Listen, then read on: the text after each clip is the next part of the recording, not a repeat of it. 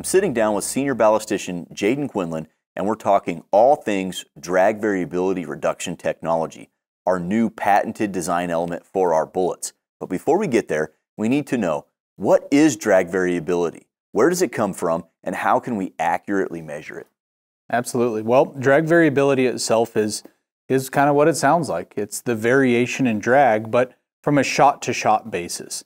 Uh, we know that drag is different amongst different bullets, right? You think about BC numbers, for example, that they're they're all usually different. Um, but from a drag variability perspective, when shooting the same exact bullets, the drag of each one of those is slightly different shot to shot to shot.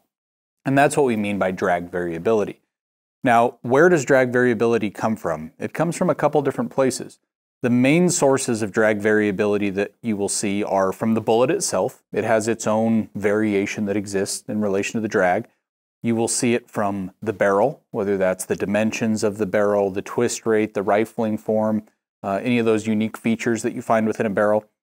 And you'll also find it with the muzzle device that's used, if there is one. So we see big differences in drag variability when you go from a bare muzzle to a flash suppressor to a muzzle brake to different designs within those to a suppressor. All of those things can affect the drag of the bullet.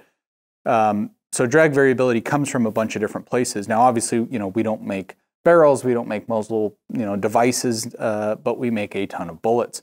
And so our contribution um, in in this subject is the drag variability piece as it pertains to the bullet itself.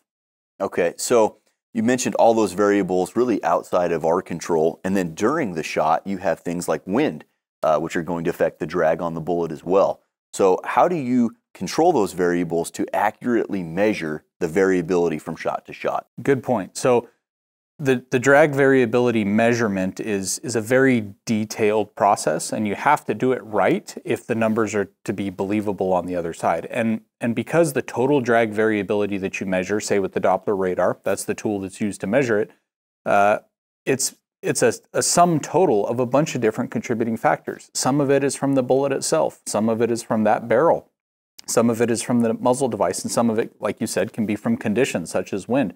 So, how do you sort all of those independent contributing factors out to get to just the bullets contribution? That's a tough order, and it takes a lot of detailed testing um, because you're you're looking for the extreme the extreme cases, and you're trying to get rid of those.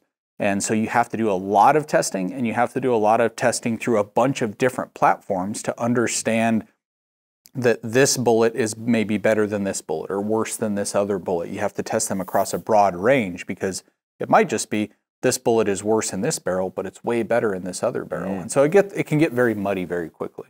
Yeah, very complex, uh, but amazing that you guys were able to take this technology and advance it and get it into use.